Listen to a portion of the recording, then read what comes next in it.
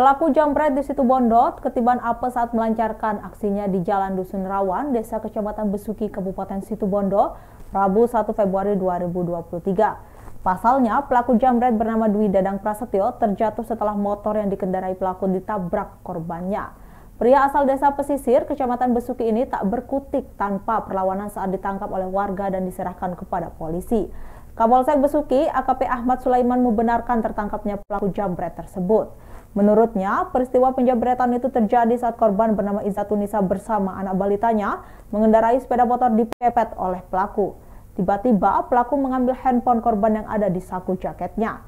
Akibat tabrakan itu, anak korban yang masih balita ikut terjatuh dan harus dilarikan ke rumah sakit Besuki untuk mendapatkan penanganan tim medis.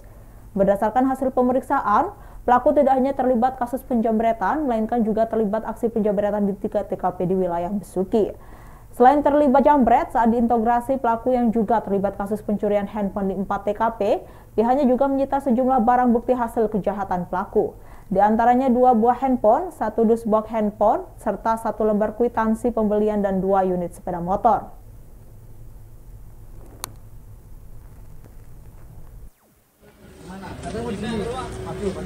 Majuan.